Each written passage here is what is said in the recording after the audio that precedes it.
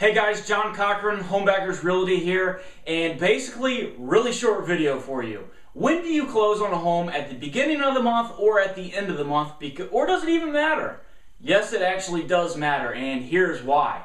Whenever you close on at the beginning of the month, you're actually going to have to pay interest on your loan for probably 30 days. So if you close on the first of the month and the month has 30 days in it, you're actually going to be paying interest for 30 days on that house, right?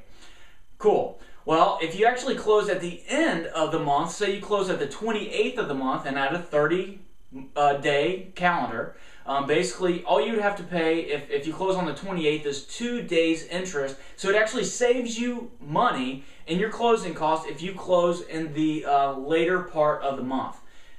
It just does. Okay, so uh, basically, again, if if um, if you close at the beginning of the month and say at the first of the month, you're gonna have to pay probably 30 days worth of interest on your loan, but if you close on the 28th of the month, you're basically only going to have to pay about two days interest on the loan. So obviously, it's a lot cheaper to go ahead and and um, purchase a house at the end of the at the end of the month versus the um, beginning of the month, and it all gets down to your interest payments on it. If you're buying a house cash, close on it whenever you want to. But if you're trying to save money, you want to say go ahead and do it at the end of the month to save on that interest so that you don't have to pay that much interest. So all you got to do is contact your homebackers realtor today at the number on your screen, and we'll talk to you soon.